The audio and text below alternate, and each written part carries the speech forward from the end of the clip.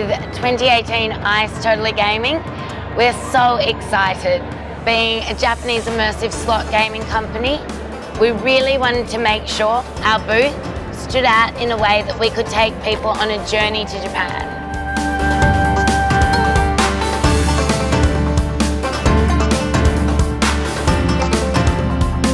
I've been a marketing professional for 15 years or something like that, and hands down, this is one of the best stands I, I have ever been, especially on ice.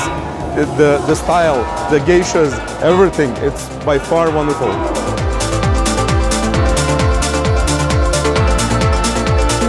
The Ganapati booth gave the feel of the small piece of Japan in this part of the world, the smell and the sense that it's very far from us and this was the chance to feel it.